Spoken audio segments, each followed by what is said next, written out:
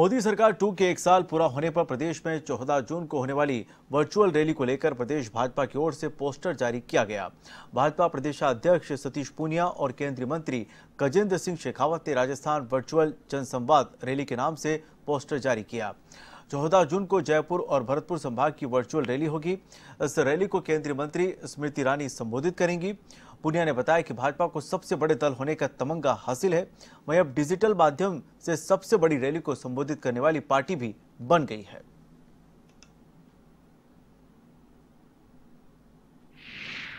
विश्व का सबसे बड़ा राजनीतिक संगठन होने का रिकॉर्ड पार्टी ने बनाया ही है, लेकिन एक रिकॉर्ड और भारतीय जनता पार्टी के नाम दर्ज हो गया।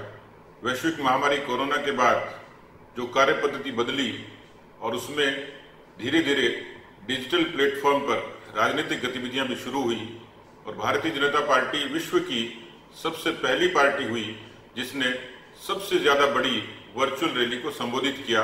विगत दिनों बिहार में केंद्रीय गृह मंत्री माननीय अमित शाह जी ने।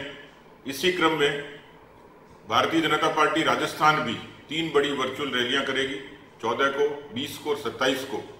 इसी क्रम में 200 विधानसभा क्षेत्रों में 400 वीडियो कॉन्फ्रेंस के ज़रिए हम अपने कार्यकर्ताओं तक और मतदाताओं तक पहुँच करेंगे।